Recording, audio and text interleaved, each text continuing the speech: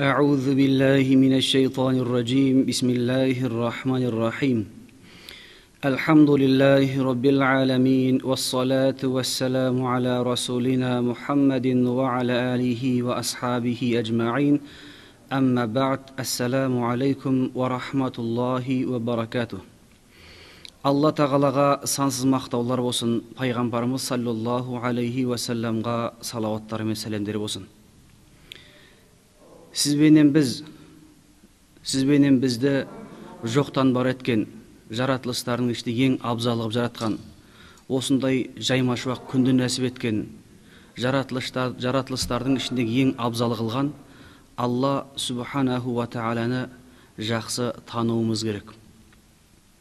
Алла субханаху ва тағаланы жақсы тануменен сізбенен біздің жасаған құлшылық ғибадаттарымыз дұға тілектеріміз дұрыс болады имам ғазали рахматулла алейх былай дейді لا تصح العبادة إلا بعد معرفة المعبود адам баласының құлшылық ғибадаттары алла субханаху ва тағаланы танумен дұрыс болады деп сізбенен біз жаратылыстардың ішіндегі абзалы қылып жаратқан алла тағаланы қалай танимыз алла тағала қасиетті құран кәрімде өзін қалай танытқан болса дәл солай иман келтіреміз.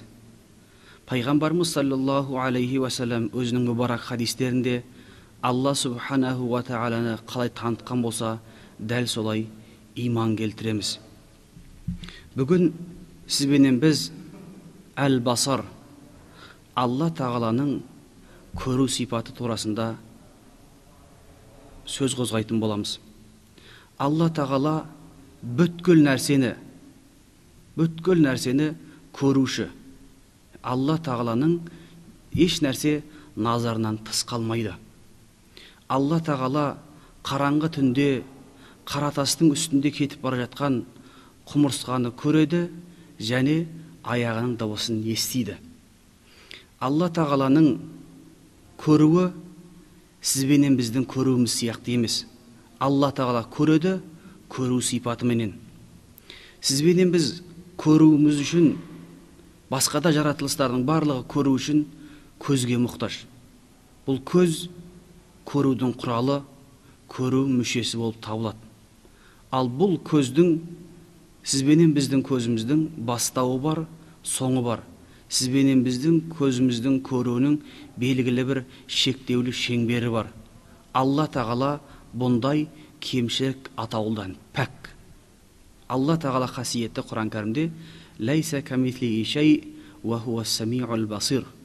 алла тағала жаратылыстар, жаратылыстардың ішінде еш нәрсеге ұқсамайды. Алла тағала жаратылыстардың ешқайсысына ұқсамайды. Алла тағала бәрін көруші алла тағала бәрін естуші.